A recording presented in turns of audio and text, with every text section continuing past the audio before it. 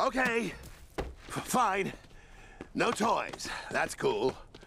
But have you ever considered video games? Sure, why not? Oh, yeah, totally. Totally. There's no such thing as a bad video game. Yeah!